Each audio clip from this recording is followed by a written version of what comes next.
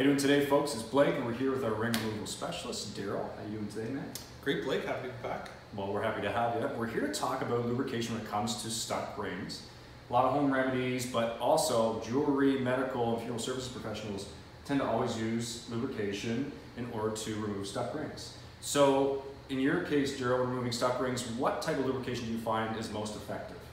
So it's a really good question. It's a common problem people have is the improper selection of the lubrication. A lot of medical lubricants that we use uh, to day-to-day practice in the in hospital setting is actually a hydrating lubricant where mm-hmm. it's a great lubricant, but it actually hydrates the tissues. It increases the size of the tissues. Mm-hmm. So what we want to actually do is we want to use a lubricant um, like the Ring Rescue lubricant that's laboratory tested. It's proven to be non-hydrating and it's also hypoallergenic, so it has no sensitivities to the skin or tissues where people have adverse effects with other chemical products uh, and home remedies that they would use out there. So ours will not increase the size of the finger, it lubricates well, and we don't have to worry about any adverse effects or allergic reactions that the patient may suffer.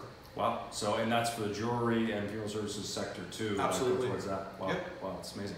Well, there you have it. Uh, when choosing your special lubricant for removing stuck rings, Ring Rescue Lubricant and within the Ring Rescue Compression Device uh, kit. All right, until next time, we have Daryl, we have Blake.